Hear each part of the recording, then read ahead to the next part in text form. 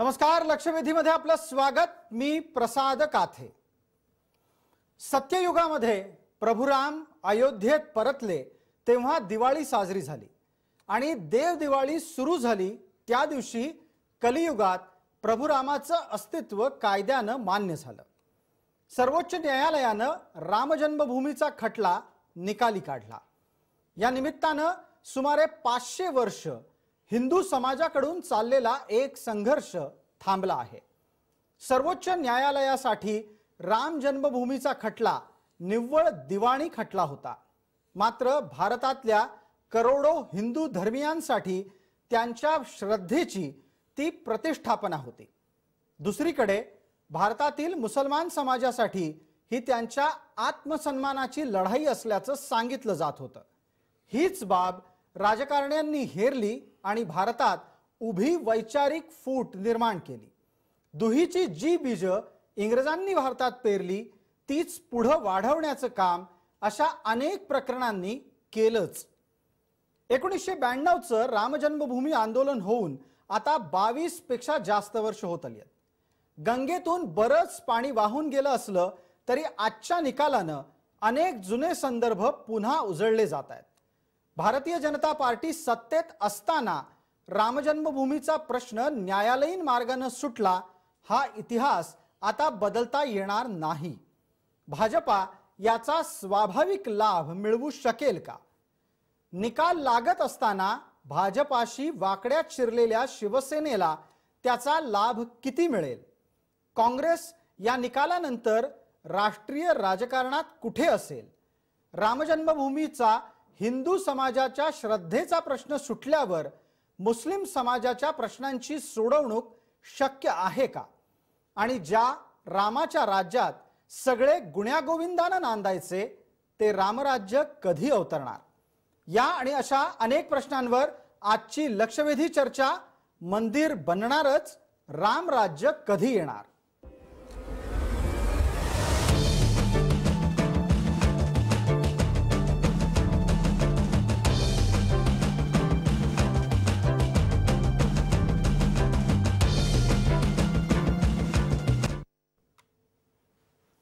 लक्षवेधीच्या या भागामध्ये आपल्या सगळ्यांचं स्वागत. आपल्यासोबत चर्चेला कोण कोण आहेत त्यांचा परिचय मी आपल्याला करून देतो.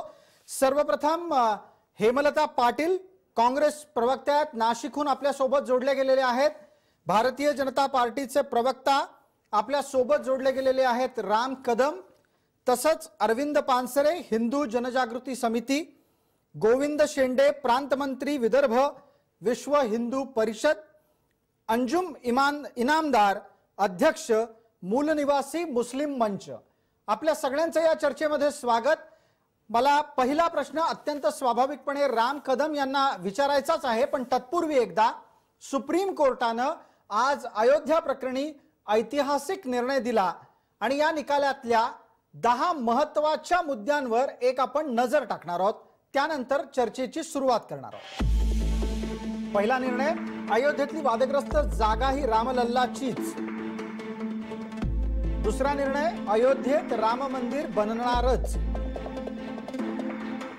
केंद्र सरकारला तीन महिन्यात ट्रस्ट उभारून मंदिर उभं करण्याचे कोर्टाचे आदेश. सदुसष्ट पूर्णांक सात एकर अधिग्रहित जमीन केंद्र सरकारची त्यातली काही जमीन ही सरकार देऊ शकतं. सुप्रीम कोर्टाच्या निकालाचं सुन्नी वक्फ बोर्डाकडून स्वागत. रामलल्लाला कोर्टाची कायदेशीर मान्यता. अयोध्या हीच राम जन्मभूमी हे निर्विवाद सत्य. आठवा मुद्दा चौथरा सीता की रसोई यांचं पुरातन अस्तित्व मान्य. वक्फ बोर्ड निर्मोही आखाड्याचे दावे फेटाळले गेले. आणि दहावा मुद्दा एकोणीसशे पन्नासपासून कायद्याची लढाई लढणाऱ्या गोपाल सिंह विशारद यांना पूजेचा हक्क मिळाला. या मुद्द्यावरच्या लक्षवेधी चर्चेत राम कदम आपल्याबरोबर सहभागी झाले आहेत भारतीय जनता पार्टीचे प्रवक्ता आहेत.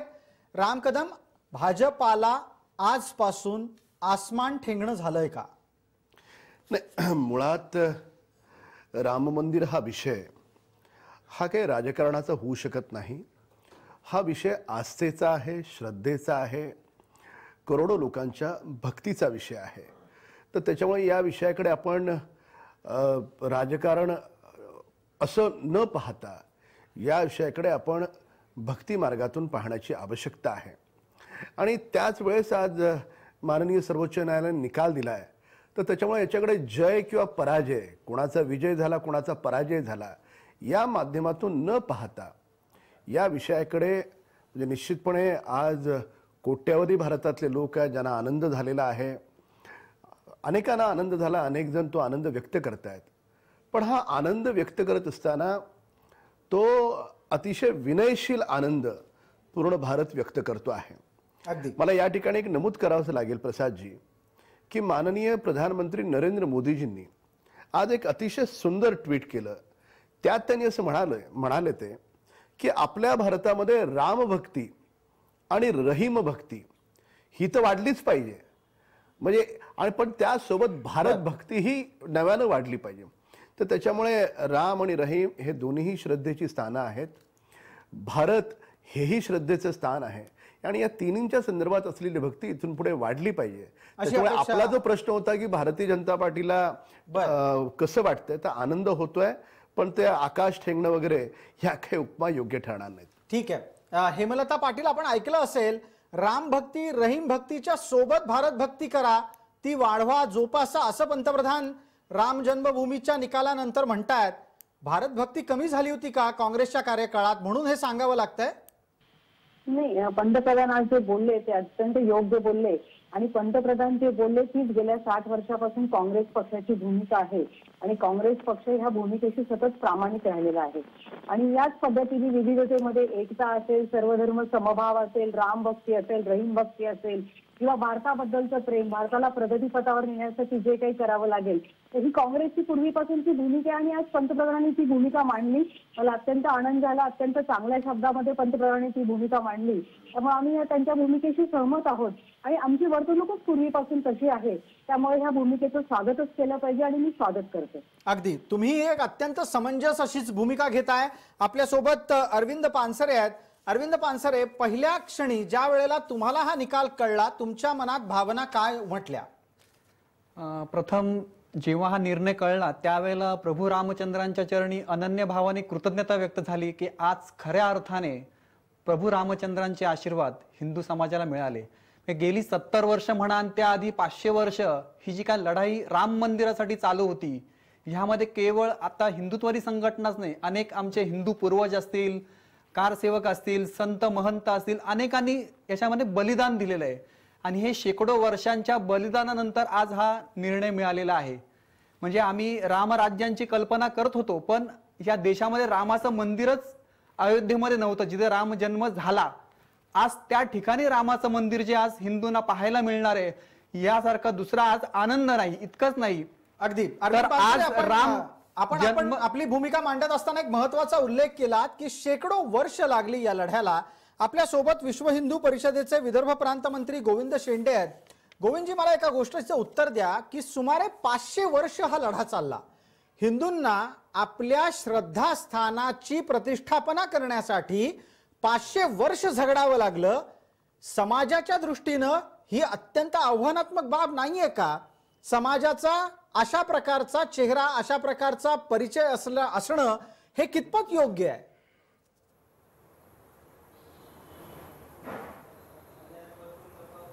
हे हे जे आहे हे साडेपाचशे वर्षाचं युद्ध आणि युद्धच होतं ते. शहात्तर लढाई म्हणजे युद्ध झाले शहात्तर सेवन्टी सिक्स. आणि त्याच्यामध्ये अनेक लोक दगावले. पाच लाख लोकांपेक्षा जास्तचं बलिदान त्याच्यामध्ये झालं. आणि स्वतंत्र भारत झाल्यानंतरही सत्तर वर्ष आम्हाला या निर्णय करायला लागले हे दुर्दैवीच आहे. पण चला जे काही झालं ते चांगलं झालं. हिंदीमध्ये म्हणतात अंत भला तो सब भला.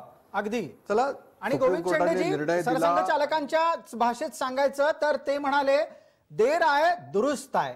पण तरीही एक प्रश्न उरतो तो असा आहे की समाज म्हणून हिंदू समाजाच्या साठी पाचशे वर्ष एखाद्या मुद्द्याच्या साठी संघर्ष करावा लागला आणि तो संघर्ष चालू राहिला हे त्या समाजाच्या सहिष्णुपणाचं लक्षण आहे का?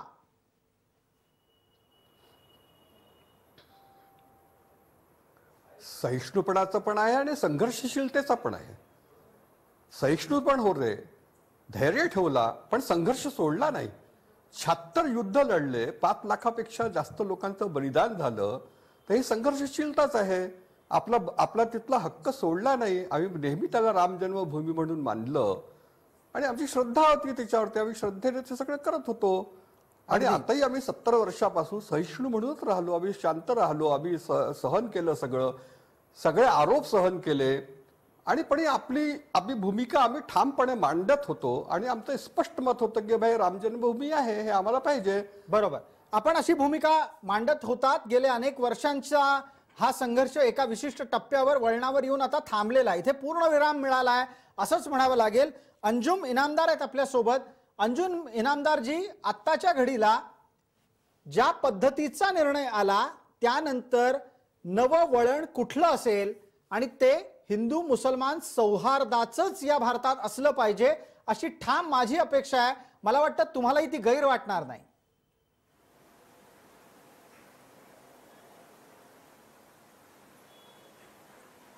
बघा आपली अपेक्षा अगदी योग्य आहे. आणि सर्व भारतीय लोकांनी तशी अपेक्षा ठेवणे गरजेचे पण आहे.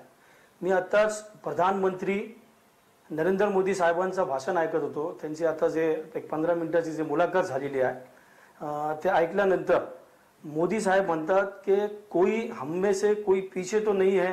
ये तमाम बातें हमको देखना होगा और सब समाज को साथ में ले जाना होगा. हे भूमिका मांडत असताना मला वाटतं मोदी साहेब कुठेतरी मुस्लिम समाजावर मागे कसं ठेवता येईल या दृष्टिकोनातून चाललेले आहे प्रचंड दबाव होता. बाबरी मस्जिदच्या निकालापूर्वी आता जे काही प्रवक्ते आपल्या इथं या ठिकाणी बसलेले आहे हे सर्व प्रवक्ते या अनेक सण महा अनेक संत भारतीय जनता पक्षाचे अनेक मोठे नेते. प्रचंड दबाव वापरत होते. या लोकांचा स्पष्ट म्हणणं होता. जर निकाल आमच्या बाजूला आणला नाही तर आम्ही विधिमंडळमध्ये असा ठराव आणू त्याबाबत प्रस्ताव आणू. या अशा दबाव दबावाखाली हे सर्व निर्णय कुठेतरी झाल्याचा असं याच्यातून चित्र दिसतो. मात्र म्हणजे तुम्हाला नक्की म्हणायचं काय? कशा पद्धतीने नक्की मांडायचा आहे? आमच्या- अंजुम इनामदार हा मुद्दा नक्की कसा म्हणायचा आहे तुम्हाला? ते एकदा पुन्हा स्पष्ट करा. कारण तुमच्या विधानातली थोडी संदिग्धता नवा वाद जन्माला घालू शकते. आपल्याला म्हणायचं काय आहे नक्की? नाही, वाद हे बघ नाही हे बघा याच्यामध्ये वाद वादचं म्हणणं नाहीये.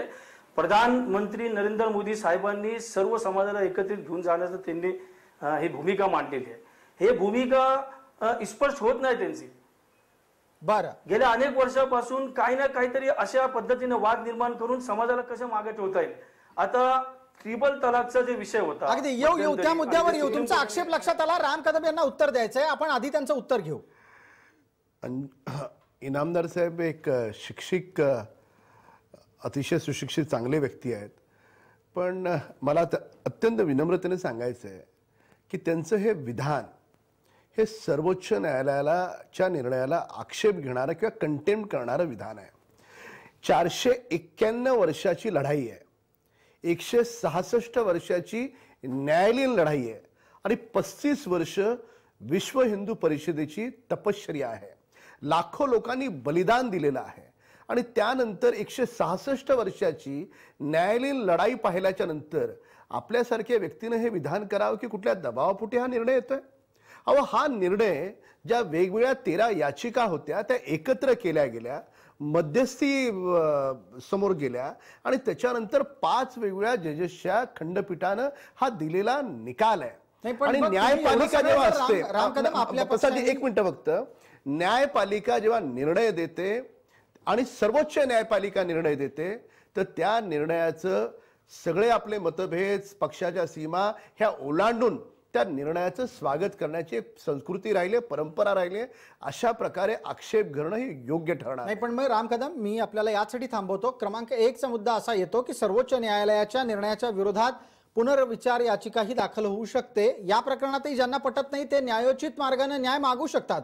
पण माझा मुद्दा वेगळा आहे. अंजुम इनामदार यांच्या मनात असा किंतु परंतु यावा असं काय केलंय का तुम्ही?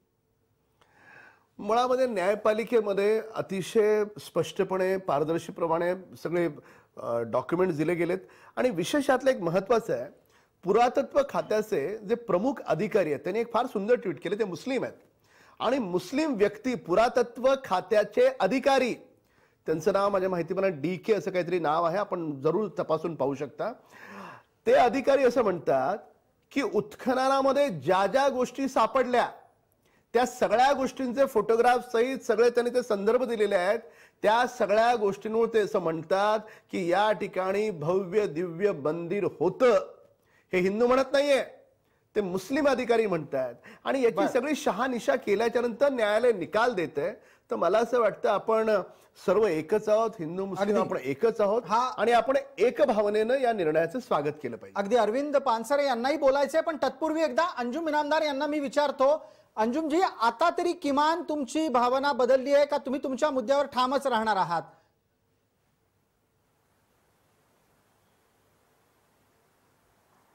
नाही नाही बघा भावना भावना बदलली जी याच्यामध्ये असं कुठलाही आपण मी अपशब्द बोलले नाही ज्याच्याने कंठभाग फोडवू शकतो. यामध्ये आमची भूमिका स्पष्ट आहे की आता कदम न्यायालयाने दबावाखाली निर्णय पुरातत्व म्हणता खात्याचे जे अधिकारी आहेत. त्यांनी कसं म्हणता? कोर्टाने ते मान्य केलं नाही ना साहेब तुम्ही आता स्वतः म्हणाला न्यायालय दबावाखाली म्हणजे. सरकारच्या दबावाखाली का पुरातत्व खात्याने गेले पाचशे वर्षाचा लढा ही म्हणजे तुमची दुटप्पी भूमिका आहे उद्या निर्णय हा तुमच्या काल आज जर हा निर्णय तुमच्या बाजूने आला असता. भूमिका तुम्ही घेतली असती का तेव्हा तुम्ही म्हणाला असता की सर्वांनी न्यायालयाचं स- न्यायालयाचं समर्थन केलं पाहिजे. निर्णय आपल्या विरोधात गेला की कांगावा करायचा आणि दुसऱ्यावर दोषारोप करायची ही वृत्ती बरोबर नाहीये. शेंडे साहेबांचं. शेंडे साहेबांचंही ऐकूयात आपण. अंजुम इनामदार यांनाही संधी देऊयात. शेंडेजी आपली भूमिका पटकन मांडावी.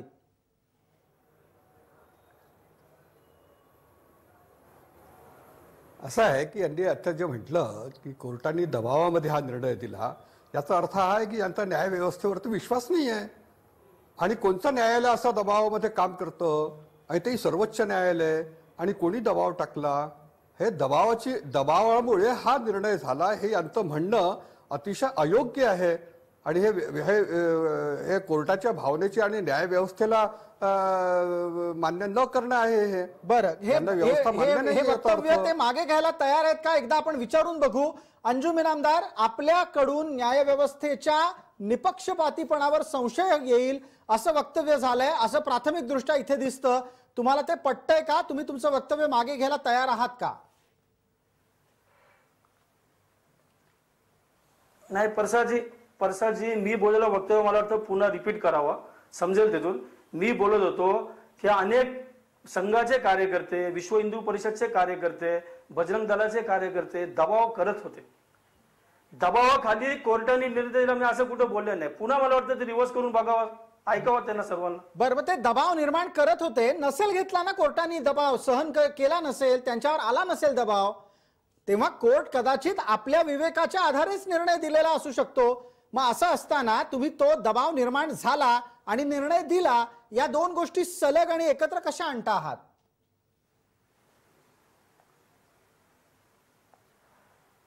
दबाव दबाव वापरत होते. माझं असं बोलणं आहे. स्पष्ट जरा समजून घ्या. पुन्हा ते वाटलं तर मी बोललेलं वाक्य पुन्हा दाखवू आपण सर्वांना ते. बरं. मी असं बोललो नाही कोर्टाने दबावाखाली हा निर्णय दिलेला आहे. मलाही माहिती आहे का कोर्टाचा अवमान असं करणं एकदम चुकीचं आहे. आणि सुप्रीम कोर्टाचा निर्णय येते ते त्या निर्णयावर सकाळी मी तुमच्या चॅनलवर बसला असताना आम्ही सर्वांनी त्याचं स्वागत केलेलं आहे. बरोबर आहे. अगदी आम्ही हे सुद्धा बोललेलं आहे आपण की या आता म्हणता आहात ती भूमिका अधिक न्यायसंगत असू शकते का याच्यावरही चर्चा होईल. तुम्ही आता असं म्हणता आहात की दबाव निर्माण केला गेला. ठीक आहे. दबाव करणाऱ्यांनी दबाव निर्माण केला. न्यायालयाने आपला निकाल दिला. या दोन गोष्टी बाजूला ठेवून मी एक प्रश्न विचारतो. अंजुम इनामदार तुम्ही निकालाचं स्वागत करणार आहात का? आणि त्याला तुमच्या समाजामध्ये नेऊन तिथे सुद्धा शांतता प्रस्थापित करण्याचं काम करणार आहात का?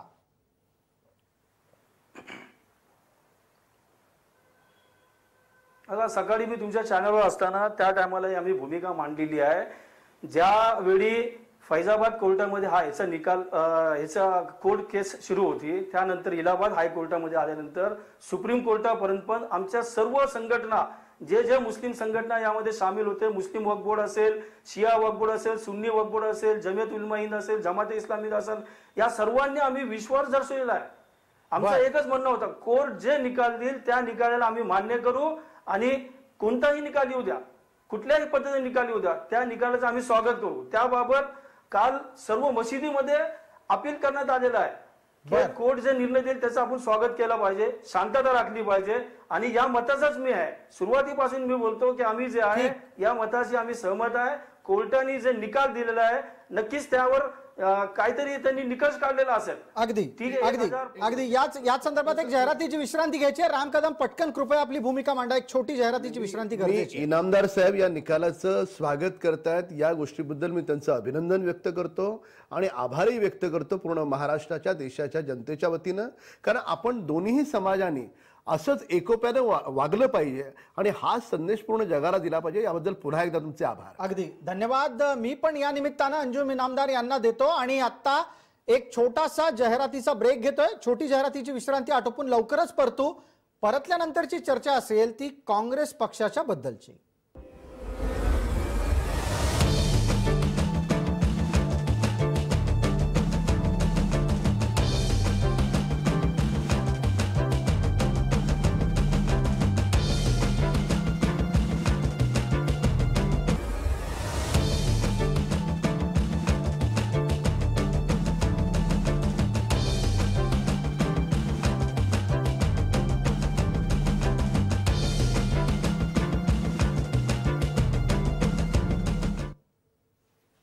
लक्षवेधीच्या या भागामध्ये आपलं स्वागत. रामजन्मभूमीच्या निकालाच्या दिवशी होणारी ही चर्चा.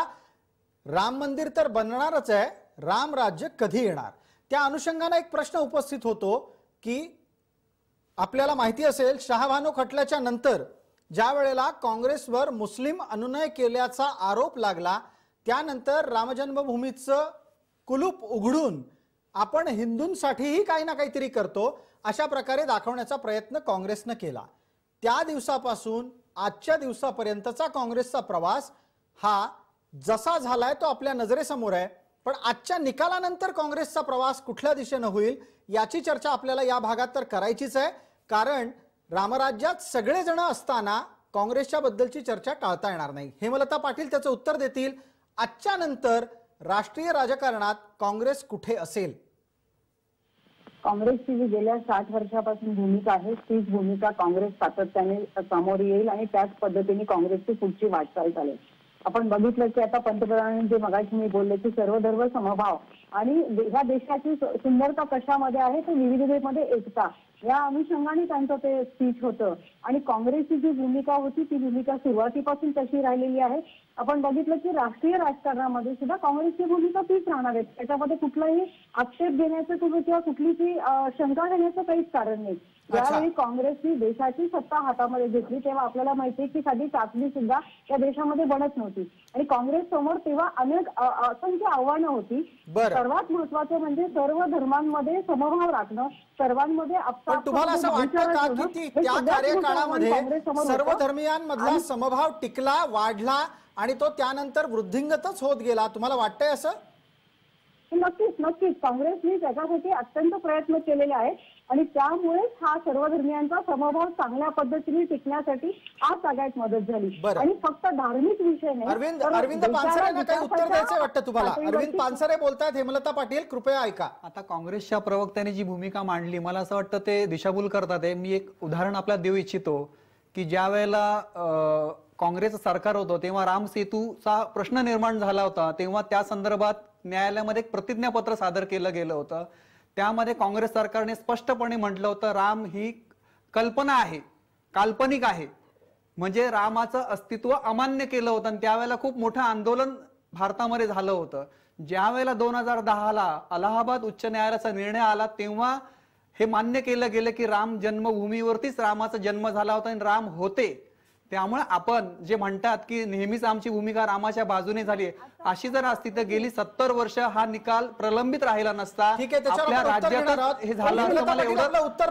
त्यानंतर राम कदम यांना बोलतं करायचंय नाही नाही एक मिनिट आज सुप्रीम कोर्टाने त्यांच्या जजमेंटमध्ये स्पष्ट केले की बेटी हे एक इंडिव्हिज्युअल आयडेंटिटी पकडलेली आहे आणि त्या अनुषंगाने सुप्रीम कोर्टाने तो निकाल दिलेला आहे हो बरोबर आहे ना पण ज्या वेळेला रामसेतूचा. मुद्दा आला. तेव्हा राम आणि त्याचं अस्तित्व प्रश्नचिन्हांकित केलं गेलं सरकार कुणाचं होतं हे वेगळं सांगायची गरज नाहीये नाही मग मी तुम्हाला तेच सांगते ना तेच सांगते की काँग्रेसनी सर्व धर्मभाव समभाव चांगल्या पद्धतीने जोपासण्यासाठी आणि देशाला चालन आर्थिक करण्यासाठी हा विकासामध्ये, निर्णय त्यावेळेला सार्वजनिक काँग्रेसने घेतला विकासामध्ये होता. पुढे हा निर्णय एवढे वर्ष आहे. लांबण्याची गरजच आजच्या- नव्हती. आजच्या आजच्या दिवशी आजच्या दिवशी जेव्हा हा निकाल लागलेला आहे केवळ हिंदूंचं तुम्ही आता आहे. सहानुभूती मिळवण्यासाठी हे असं आम्हाला वर्षामध्ये काँग्रेसने रामावरती कसा अन्याय केला काँग्रेसने समाजामध्ये केलेलाच आहे. प्रत्येक हिंदूच्या मनामध्ये ही भूमिका आहे. आज. रामाचा जो वनवास, म्हणजे त्या काळामध्ये होणार 14 नाहीये. वर्ष राम वनवासात होते, काही 70 लोकांना वर्ष वनवासात राहण्यामध्ये काँग्रेसच की जबाबदार आहे असं आम्हाला वाटतं. तरी काँग्रेसला त्याच्यासाठी दोष द्यायचा आणि काँग्रेसने काही केलं काही केलं नाही काँग्रेसने. काँग्रेसने जर केलं असं. अरविंद पानसरे आणि हेमलता पाटील दोघांनाही मी विनंती करतो काही क्षणांसाठी थांबा मुद्दा पुढे नेण्याची गरज आहे. अन्यथा आपण पुन्हा शब्दांमध्ये अडकून जाऊ. राम कदम नवा मुद्दा मांडा. हेमलता ताई आमच्या ताई आहेत. राजकारणाच्या पलीकडे जाऊन आपण इतिहासाचे संदर्भ जर शोधण्याचा प्रयत्न केला मला एक तर राजकारण आणायचं नाही. फक्त इतिहासात घडलेली जी घटना आहे ज्या हेमलता ताई मोठ्या मनानं स्वीकारतील.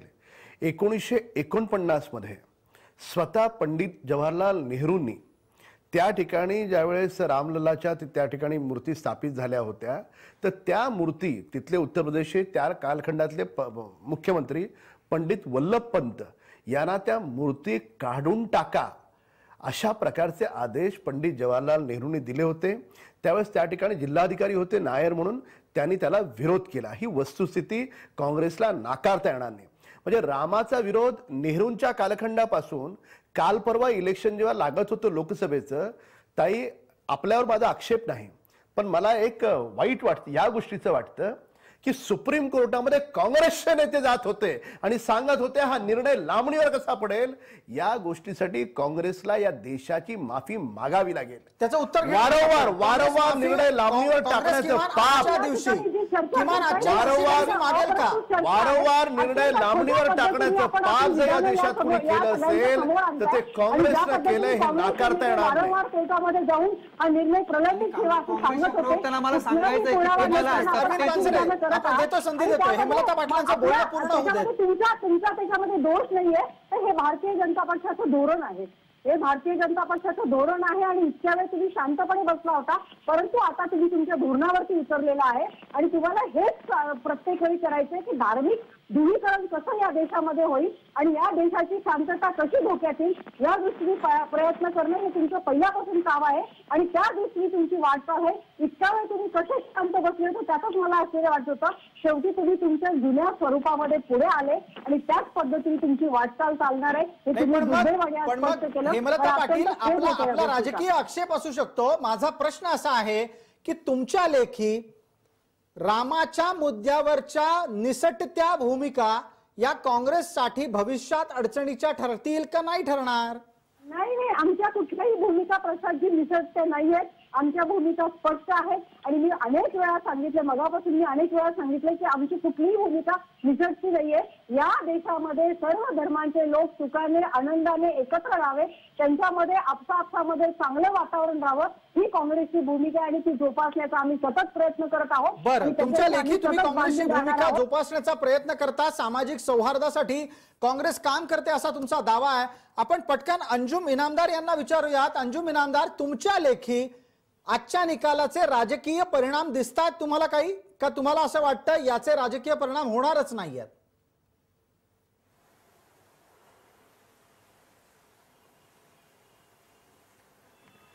नाही, याचे राजकीय परिणाम तर स्पष्ट याच्यामध्ये असं बोलणं योग्य ठरेल की ज्या लोकांना याचा राजकीय फायदा घ्यायचा होता ते दोन पासून तीनशे पर्यंत कसे गेले आहे ते त्यांना फायदा मिळालेला आहे. मात्र यामधून मला एक आशा आहे आमच्या समाजाकडून मुस्लिम समाजाकडून कुठं ना कुठेतरी याच्या या समाजामध्ये जनजागृती येईल. या समाजाला असं वाटेल कुठं ना कुठं आपले लोक प्रशासकीय लेवलवर आपण सर्वांनी गेलं पाहिजे. कुठेतरी रा- राजकारण या विषयावर ते समजून पुढे येतील मला असं वाटतं. आणि कसा घडू शकतो? मुसलमान समाजामध्ये आजच्या निकालामुळे अधिकाधिक व्यवस्थेमध्ये सामील होण्याची भूमिका का येऊ शकते आणि ती कशी राबवली जाऊ शकते?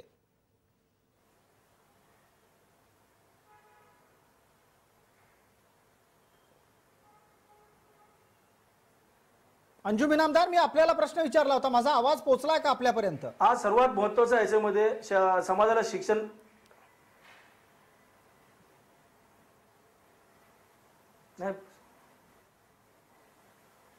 हॅलो? बोला बोला मी ऐकतोय. ऐकतोय आपलं म्हणणं. हॅलो. हॅलो. मला वाटतं अंजुम इनामदार यांच्याशी. संपर्क आपला तुटतोय. यावर एक गोविंद शेंडेंची प्र- प्रतिक्रिया पटकन घेऊ आणि मग पुढचा उपमुद्दा घेणार आहोत. गोविंदजी?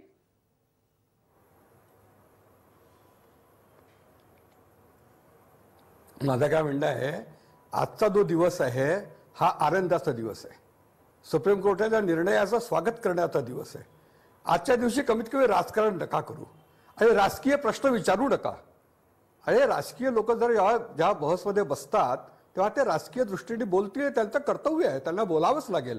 परंतु हा जो आत्ता हेमलताताई बोलत होत्या त्यांनी पण थोडा विचार करायला पाहिजे की काँग्रेसनी जी भूमिका रामजन्मभूमीच्या मुद्द्यावरती मागे घेतली होती रामाच्या अस्तित्वालाच अस्वीकार केलं होतं तर ती भूमिका काँग्रेसची चूक होती ह्या सुप्रीम कोर्टाने सिद्ध करून दिलं. सुप्रीम कोर्टाने रामाच्या अस्तित्वाला रामाच्या जन्माला राम जन्मभूमीला आणि हे मुद्देशीर त्याला स्वीकार केलेला आहे. अर्थात त्यांनी काँग्रेसची जी भूमिका होती त्याला नकारलेला आहे. आणि म्हणून राजकीय दृष्टीच्या क्षेत्रामध्ये काम करणाऱ्या लोकांनी पण या दृष्टीने विचार करावा. अगदी. आणि राजकीय दृष्टीने काम करणाऱ्यांनी याच्यात विचार करावा अशी सूचना आपल्याला आलेली आहे गोविंद शेंडे यांना. मला वाटतं मग आपण राम कदम यांना प्रश्न विचारूयात. राम कदम राजकीय दृष्टीने या भूमिकेकडे पाहणार आहात का हा विषय श्रद्धेचा आहे आणि तो श्रद्धेचा म्हणूनच ठेवणार आहात? शेंडेसाहेब पूजनीय आहेत आदरणीय आहेत ते जे म्हणाले ते बरोबर आहे. मला याच्यात राजकारण आणायचं नव्हतं पण इतिहासातले संदर्भ आपल्याला नाकारता येणार नाहीत. हा विषय पूर्णपणे श्रद्धेचा आस्थेचा आहे भक्तीचा आहे आणि ते म्हणाले ते खरं आहे. आजचा दिवस अधिक आनंदाचा आहे. अनेकांनी प्रयत्न केला निर्णय लांबणीवर जावा पण तो बरोबर आजच्या दिवशी लागलाय. बारा तारखेला तिथे कार्तिकी पौर्णिमा आहे. लाखो लोक अयोध्येला जमतात. अनेक जणांची इच्छा होती की त्यांच्या हयातीत हा निर्णय लागावा पण अनेकांच्या हयातीत हा निर्णय लागला नाही. म्हणजे विशेष करून अशोक. सिंघल जे आहेत अनेक मोठे संत आहेत. तुम्हाला तुम्ही जो उल्लेख आता कार्तिकी पौर्णिमेचा केला त्या निमित्तानं मग पटकन विचारतो या वेळेला कार्तिकी पौर्णिमेच्या निमित्तानं अयोध्येत वेगळा उत्सव असेल आणि उत्साह पण असेल का? राम राम कदम आपल्याला विचारतो. नाही निश्चितपणे दरवर्षी त्या ठिकाणी पंचवीस एक लाखाच्या वर लोक जमतात.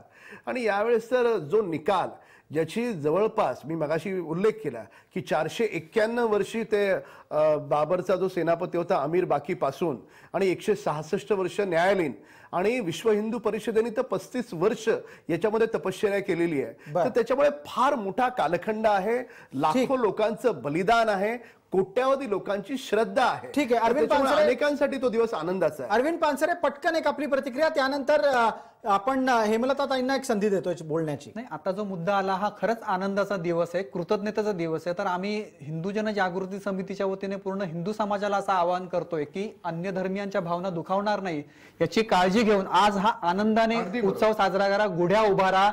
जसं दिवाळी साजरी केली जाते तशी आज ही दिवाळीच आहे आपल्यासाठी. पंत्या पेटवा रांगोळी काढा गोडधोड करा राम मंदिरात जाऊन रामाच्या चरणी कृतज्ञता व्यक्त करा.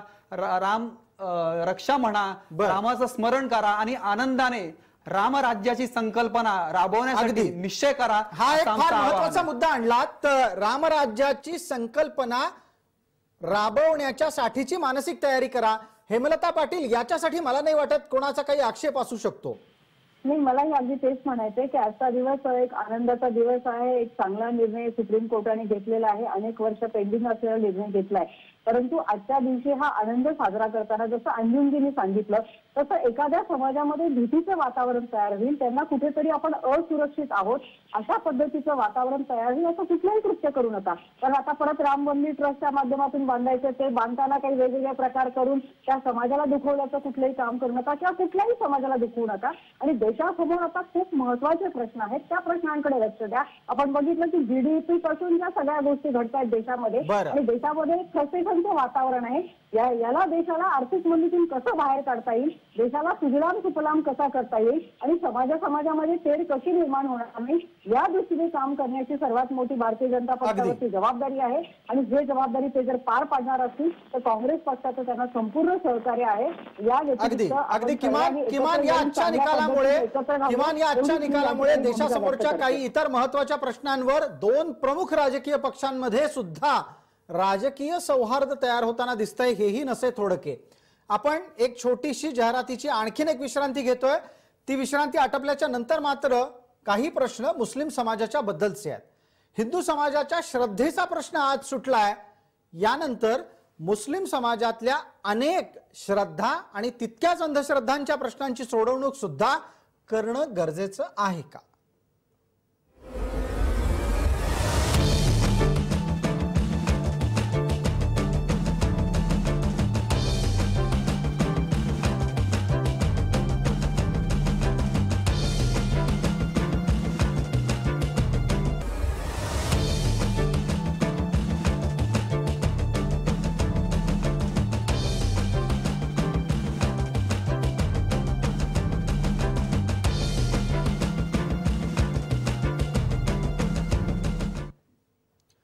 नमस्कार. रामजन्मभूमीच्या निकालाच्या नंतर एक गोष्ट स्पष्ट झाली आहे की आता राम मंदिर बनेलच. फक्त रामराज्य कधी येणार?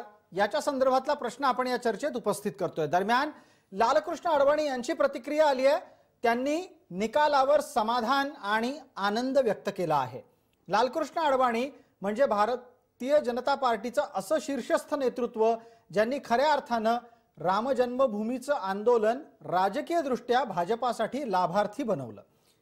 आपण आपल्या विषयाकडे आता परत येऊ. हिंदू समाजाच्या श्रद्धेचा रामजन्मभूमीचा प्रश्न मार्गी लागलाय. त्यानंतरचा पुढचा महत्त्वाचा प्रश्न आहे की जर हा प्रश्न सुटल्याच्या नंतर रामराज्य आणायचं असेल तर भारतामध्ये हिंदू मुसलमान गुण्यागोविंदांना नांदावे लागतील. आणि त्यासाठी मुसलमान समाजाच्या अंतर्गत सुद्धा अनेक प्रश्नांची सोडवणूक करायची गरज आहे. अंजुम इनामदार यावर वारंवार बोलतायत आणि मला वाटतं की आजच्या घडीला या चर्चेची सुरुवात आपण त्यांच्यापासून करू. अंजुम इनामदार कोणते प्रश्न आहेत ज्याची सोडवणूक आता तुम्हाला अपेक्षित आहे?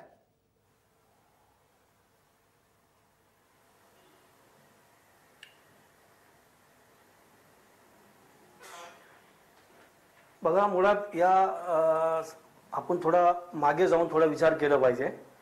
स्वतंत्र भारतापासून तर आतापर्यंत. भारत स्वतंत्र झाल्यानंतर मुस्लिमांची आर्थिक शैक्षणिक सामाजिक परिस्थिती हे सध्या काय आहे?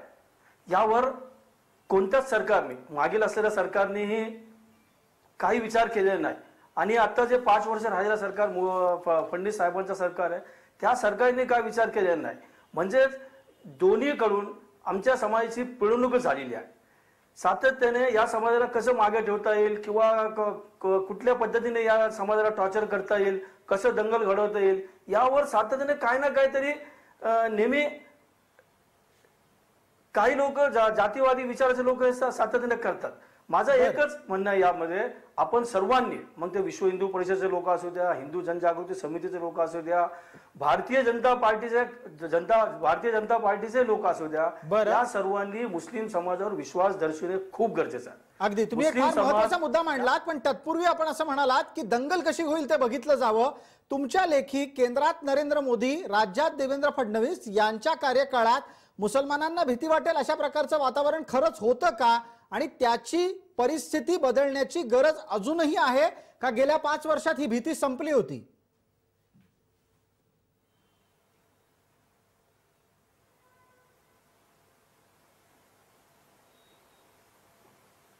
नाही हे भीती संपल्याचा विषय नाही सर.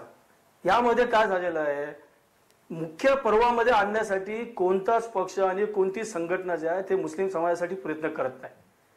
आज आज जे समाज मागासलेला आहे त्याचे कारण काय आहे? मुस्लिम समाजाला शिक्षण नाही शिक्षणासाठी ते व्यवस्था नाही मुस्लिम समाजाला नोकऱ्या नाही तर हे सर्व कसं उपलब्ध करून देता येईल? म्हणजे जर उपलब्ध करून दिला तर हा समाज मुख्य पर्वामध्ये येईल आणि. मुख्य पर्वात आल्यानंतर राम कदम यांना विचारू. राम कदमांच्या रामराज्यात मुसलमानांना स्थान किती आहे कसं आहे? इनामदार साहेब मला अनेक अशा पाचशे गोष्टी सांगता येतील.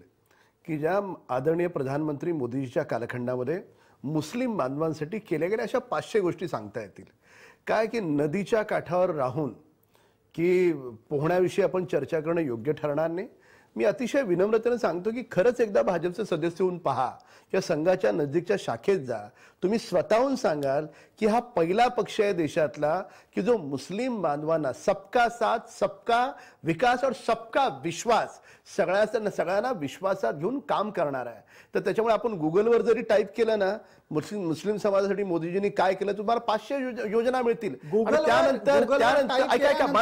विश्वास ठेवायचा? मला तुम्ही जर आता वेळ दिला तर मी आता खणखण सांगू शकतो बर. की मुस्लिम समाजासाठी ज्या ज्या योजना मोदीजींनी आणल्या काँग्रेसच्या कालखंडातली बावन्न वर्ष आणि आमच्या काल- कालखंडातली फक्त पाच वर्ष मोजा त्या बावन्नपेक्षा अधिक काम मुस्लिम समाजासाठी मोदीजींनी केले हे नाकारता येणार नाही पण त्याच्यामुळे विरोधाला विरोध.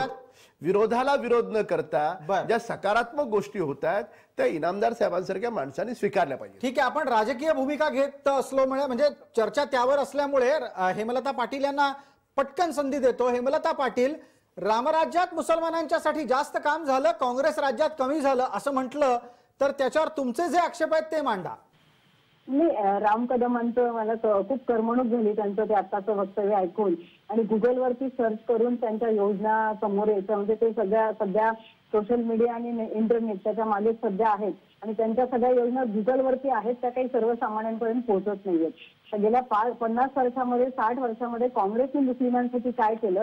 तर मुस्लिमांना मुख्य प्रवाहामध्ये आणण्यासाठी जे जे गरजेचं आहे म्हणजे अगदी शिक्षणांपासून नोकऱ्यांपासून सगळ्या बाबतीत काँग्रेसने जे जे शक्य आहे त्या सगळ्या बाबतीत मुस्लिम समाजाला मुख्य प्रवाहात आणण्यासाठी सर्व सर्व मदत केलेली आहे. आणि पाटील, म्हणजे यावरच आपण मुख्य या- आक्षेप आहे. आपण या देशाचे यांचा मुख्य आक्षेप हाच आहे. की गेलं सरकार असो व आत्ताचं सरकार असो कोणीच मुसलमानांना खऱ्या अर्थानं मुख्य प्रवाहात आणलं नाही.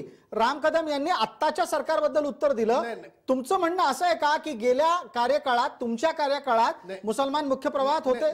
देतो देतो. राम कदम एक संधी देतो. पटकन हेमलता पाटील यांचं उत्तर घेऊयात. हे शंभर टक्के मुख्य मुख्य प्रवाहामध्ये होते. जिथं जिथं त्यांना संधी देणं शक्य होतं.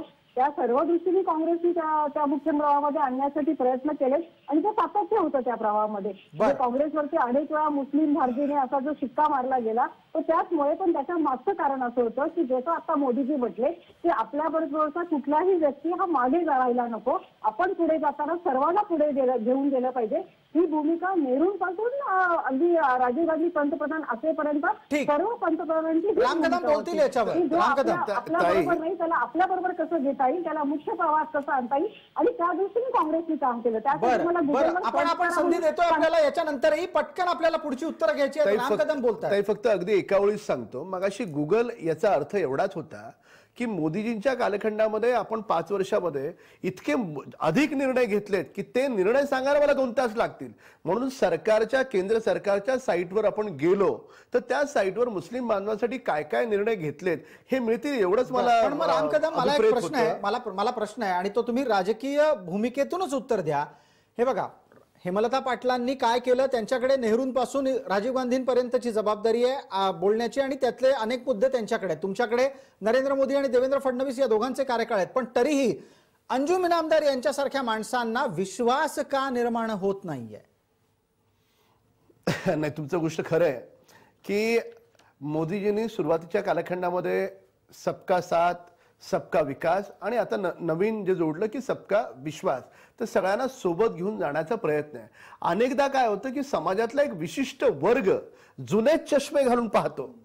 त्या वर्गाने जेव्हा नवीन चष्मे घालण्याचा प्रयत्न केला त्या वर्गाने जर तुलना केली की काँग्रेसच्या कालखंडात काय घडलं भाजपच्या कालखंडात काय घडतंय तर त्याच्यानंतर इनामदार साहेबांसारखे चांगले लोक म्हणतील की हो एक खरी गोष्ट आहे की आमचा पूर्वग्रह दूषित होता की भाजप बाबा अमुक अमुक वर्गाच्या विरोधात आहे तर तसं नाहीये.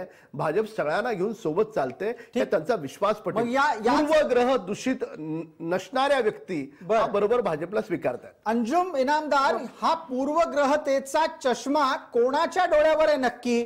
मुसलमानांकडे बघणाऱ्यांच्या डोळ्यावर पूर्वग्रह असल्याचा चष्मा आहे का? मुस्लिम समुदायाचा इतर कोणावर तरी आहे?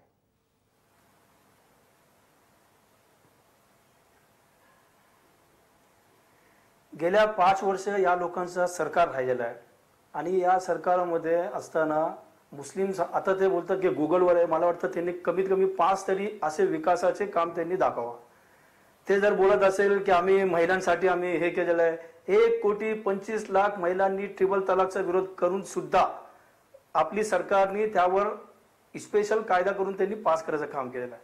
मला वाटतं की तुम्ही ज्या चष्माबाबत बोलता आम्ही चष्मा डोळ्यासाठी दोघांसाठी मग तो काँग्रेस राष्ट्रवादी काँग्रेस असू द्या किंवा भाजप सेना असू द्या आम्ही दोघांसाठी एकत्रित विचार करू ना आम्ही. तुम्ही समाजाचा विकास करा मुख्य पर्वामध्ये आणा आमच्यावर विश्वास व्यक्त करा. हा समाज जे आहे ते खूप जिद्दीने काम करणारा काम करणारे लोक आहेत. आम्हाला वाटतं कुठेतरी समाजाचे जे रोजीरोटीचा प्रश्न आहे बर. दैनंदिन प्रश्न आहे थोडक्यात काय मूलभूत प्रश्न मुसलमान समाजाचे भारताच्या स्वातंत्र्याच्या दिवसापासून सुरू झाले ते आज तागायत सुटले गेलेले नाहीत अशी खंत अंजुम इनामदार यांना वाटतीये. आपल्यासोबत शेंडेजी आहेत. शेंडेजी मला एक प्रश्न आपल्याला वेगळा विचारायचा. या राजकीय चर्चेत मी तुम्हाला ओढत नाही पण मला सांगा जर मुसलमान मुख्य प्रवाहात असता आणि मुसलमान आर्थिक सामाजिक दृष्ट्या हिंदून इतकाच सक्षम आणि प्रभावी असता तर राम जन्मभूमीचं आंदोलन सत्तर वर्ष चाललं असतं.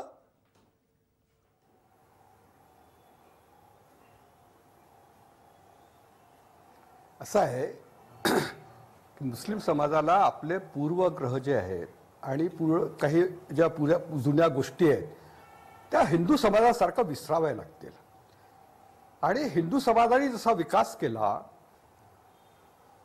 परिवार नियोजन त्यांनी स्वीकार केलं शिक्षण स्वीकार केलं एकत्रित राहणं स्वीकार केलं तर तसं मुस्लिम समाजाला स्वीकार करावं लागेल. त्यांचे जे नेतृत्व करते आहेत त्यांचे मौलवी असतील मुल्ला असतील काजी असतील हे मुस्लिम समाजाचे राजकीय नेतृत्व असेल त्यांनी पण त्यांना त्या कडघड्यातून बाहेर काढून आणि वर्तमान समाजाच्या सोबत आणून उभं करणं ही त्यांची जबाबदारी आहे. आणि त्यांनी ते जर केलं तर मुस्लिम समाज जो मागासलेला आहे मागासलेला आहे मागासलेला आहे असं होणार नाही. धार्मिक चौकटीतून मुसलमान समाज एक पाऊल बाहेर येऊ शकतो का? याच्याच संदर्भातला हा एक नोंद स्वरूपातला मुद्दा आहे. अंजुम इनामदार यांच्याकडून पटकन प्रतिक्रिया घेतो. मग मी देतो आपल्याला संधी. अंजुम इनामदार यांच्याकडून एक पटकन प्रतिक्रिया घेऊयात की धार्मिक जोखडामुळे आज मुसलमान समाज रामराज्यामध्ये पिछडलाय का?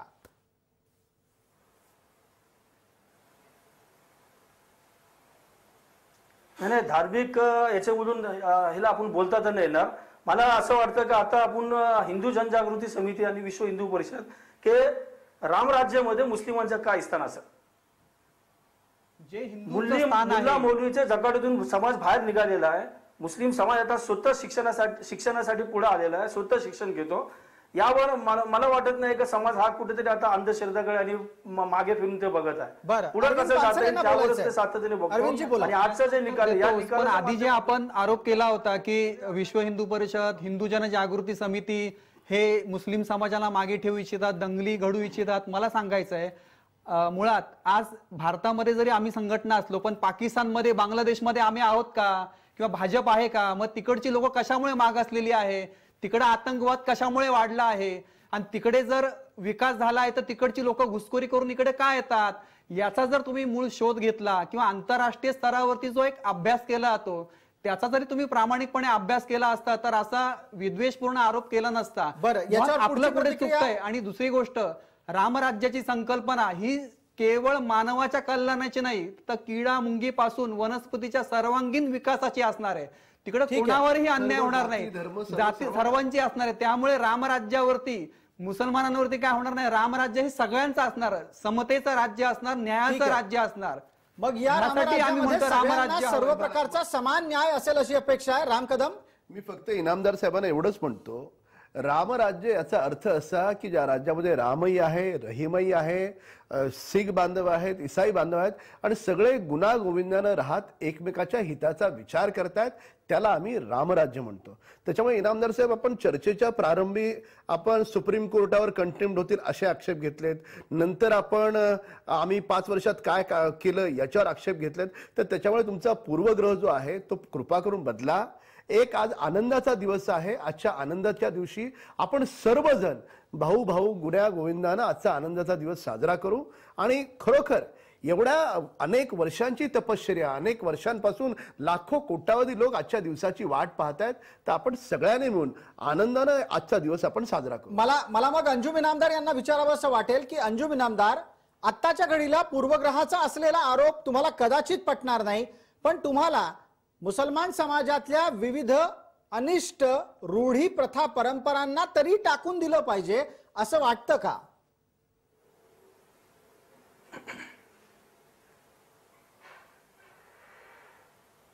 बघा समाज शिक्षणा शिक्षणापासून आता ते पुढे जा पुढे जात आहे. आणि हे रूढी परंपरा अंधश्रद्धा ह्याच्यातून समाज बरंच पैकी ते लांब झालेलं आहे दूर झालेलं आहे. मला वाटत नाही की हे सर्व आता यावर चर्चा करून त्याच्यावर आपण कुठेतरी हे करता येईल. मात्र समा समाजाला आता शिक्षणाच्या माध्यमातून त्याला हे सर्व समजायला लागलेलं आहे. अगदी. शिक्षणाच्या माध्यमातून ही गोष्ट होऊ शकते. ही एक फार चांगली गोष्ट आपण चर्चेमध्ये आणलीत आता आपल्याला भविष्य सूचक चर्चा करायची आहे. रामजन्मभूमीचा मुद्दा हा आज निकाली निघाला. एक दुसरा मुद्दा आहे तो मथुरा आणि काशीच्या संदर्भातला. जुन्या काळात एक घोषणा दिली जायची ये तो अभी झाकी है मथुरा काशी बाकी है। आज ज्या वेळेला सरसंघ चालकांना याच संदर्भातला प्रश्न विचारला गेला तेव्हा त्यांनी त्यावर मौन बाळगलं स्पष्ट अशी कुठली भूमिका तात्काळ घेणं टाळलं. याचा अर्थ काय? हिंदू जनजागृती समितीचं उत्तर कदाचित असू शकतं तयार पण मला उत्तर आता विश्व हिंदू परिषदेकडून हवंय.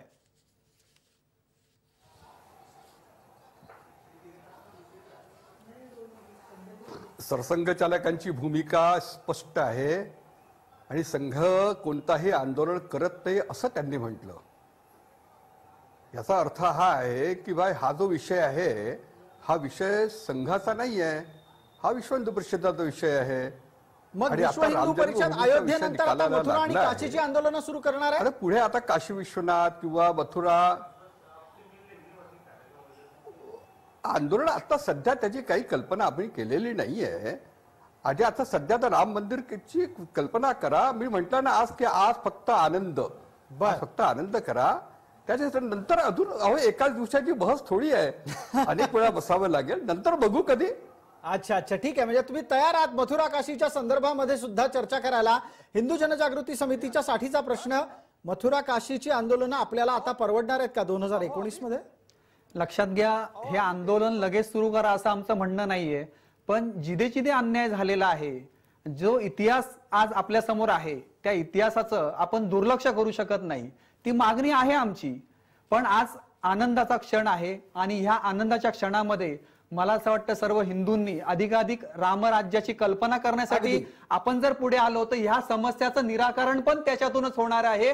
आणि हिंदूंना जसं आज राम मंदिर मिळालंय काशी मथुरा सुद्धा मिळेल असा आम्हाला ईश्वराच्या चरणी आम्हाला विश्वास वाटतो. हेमलता पाटील आत्ताच्या घडीला मथुरा काशीची चर्चा करायची का पडत्या जीडीपीची वाढत्या बेरोजगारीची चर्चा करायची? नाही जेव्हा खायला तुम्हाला जर अन्न नसेल तर बाकीच्या गोष्टींची चर्चा करण्यामध्ये काही मतलब नाहीये.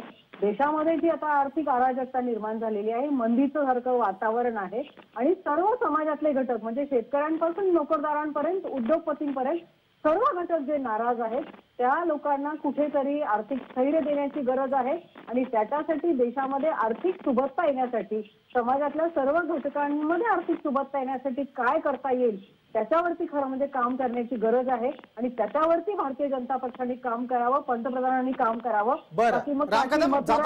प्रतिक्रिया. पटकन चर्चेची वेळ संपत आलेली आहे पंतप्रधानांकडून आता वेगळ्या मुद्द्यांच्यावर काम केलं जाण्याची अपेक्षा आहे असं काँग्रेसला वाटतं. अरविंदजी वेळ नाहीये. मला राम कदम यांना बोलायला संधी द्यावी लागेल. आपल्याला या देशाला सर्वच अर्थानं विकासाच्या दृष्टिकोनातून पुढे घेऊन जायचं आहे आपण जेव्हा दोन हजार चौदाला होतो तेव्हा जगाच्या तुलनेमध्ये आपण अकरावी महासत्ता होतो आर्थिक महासत्ता. मोदीजींनी या भाजपच्या सरकारने अहोरात्र पाच वर्ष परिश्रम घेतले. अकरावरून आता आपण सहावर आलो. हळूहळू आपल्याला क्रमांक एक वर यायचं आहे. तर त्याच्यामुळे सगळ्यांना सोबत घेऊन सगळ्या जाती धर्माच्या लोकांना जसं इनामदार साहेब म्हटले त्यांनाही सोबत घेऊन भाजपला पुढे जायचंय. भाजप पुढे म्हणजे काय? देश पुढे देशाला पुढे न्यायचंय. म्हणजे काल मुनगंटीवार साहेबांनी अतिशय सुंदर व्याख्या केली. भाजप याचा अर्थ काय? भा म्हणजे भारत. म्हणजे आमच्यासाठी देश महत्त्वाचा. भाजप म्हणजे भारतीय जनता. भारतातली जनता आमच्यासाठी महत्वाची. आणि शेवटी प प म्हणजे पार्टी. पार्टी नंतर. म्हणजे देश प्रथम क्रमांकावर देशाची जनता प्रथम क्रमांकावर आणि शेवटच्या क्रमांकावर आम्ही आमची पार्टी ठेवली आणि त्याच्यानंतर आम्ही स्वतःला ठेवलं. तर. त्याच्यामुळे देशाला पुढे घेऊन जाणं हे एकमेव उद्दिष्ट भारतीय जनता पार्टीचं सरकारचं अगदी. आहे आणि सगळ्या जाती धर्माच्या लोकांना सोबत घेऊन जाणार. अगदी. वेळमर्यादेपोटी आपल्याला ही चर्चा इथेच थांबवावी लागते रामराज्याच्या संकल्पनेत काय कसं कुठे कुठे कधी कोणाचं असेल त्याची उत्तरं या चर्चेत शोधण्याचा आपण प्रयत्न केला. सर्व मान्यवरांचे मनपूर्वक आभार या चर्चेत सहभागी झाल्यासाठी. जाता जाता रामाला मर्यादा पुरुषोत्तम म्हणतात इमाम हिंद म्हणतात. याच रामाकडून अनेक गोष्टी शिकण्यासारख्या आहेत. त्याच्या रामराज्यात सुद्धा अनेक गोष्टी शिकण्यासारख्या आहेत. ज्या लोकशाहीतल्या राजवटीत बऱ्याचदा शोधूनही सापडत नाहीत. रामराज्याची संकल्पना प्रत्यक्षात कागदांवर कुठे सापडेल की नाही सांगता येत नाही पण प्रत्येकाच्या मनात ती निश्चित असू शकते. कारण स्वतःपासून सुरुवात केली तर रामराज्य नक्कीच येईल. हिंदीतल्या एका प्रसिद्ध गाण्यात म्हटल्याप्रमाणे मन से रावण जो निकाले राम उसके मन में है. हे ज्याला जमलं त्याला रामराज्य आणणं सुद्धा अवघड नाही. आज चर्चेमध्ये इतकंच. ताज्या बातम्यांसाठी पहा फक्त जय महाराष्ट्र.